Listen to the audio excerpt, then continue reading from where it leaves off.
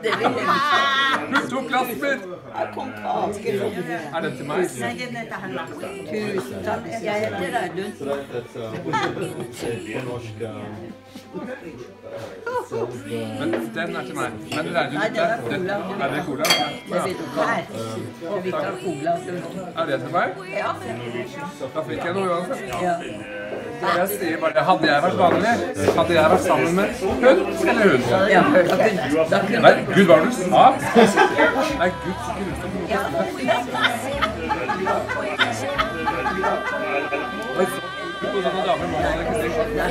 så er gæren. Du er gæren.